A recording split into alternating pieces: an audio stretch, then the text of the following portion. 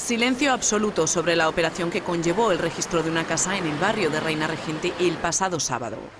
Una decena de guardias civiles intervinieron en la mañana del día 10 en un edificio de la calle Tadino de Martinengo.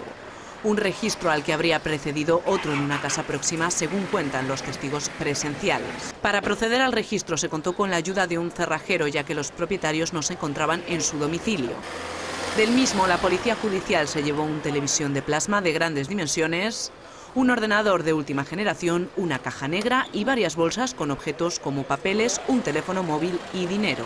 Una secretaria judicial y una decena de agentes entre Guardia Civil y Policía Judicial, varios de ellos cubiertos con pasamontañas, registraron tanto la vivienda como el garaje con la ayuda de un perro adiestrado y concluyeron el registro que comenzó de madrugada minutos antes del mediodía.